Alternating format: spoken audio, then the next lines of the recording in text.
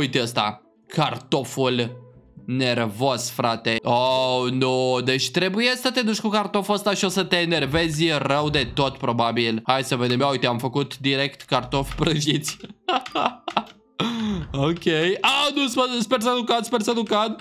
Mamă, cum se rostogolește cartoful. Uhu! Astea probabil că sunt mai simple acum la început, dar am căzut.